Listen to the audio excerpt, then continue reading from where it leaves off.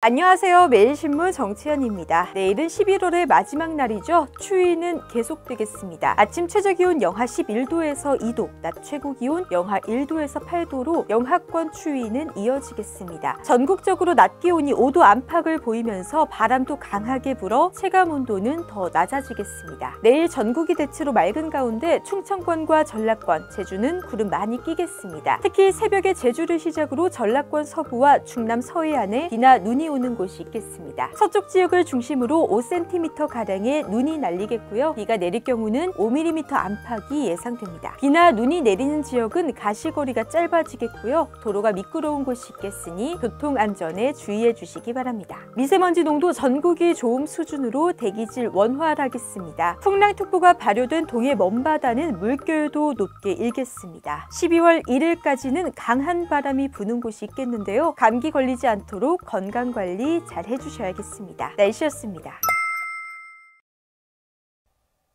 이번 소식도 유익하셨나요? 매일신문 구독하기로 신속하고 정확한 정보를 받아보실 수 있습니다.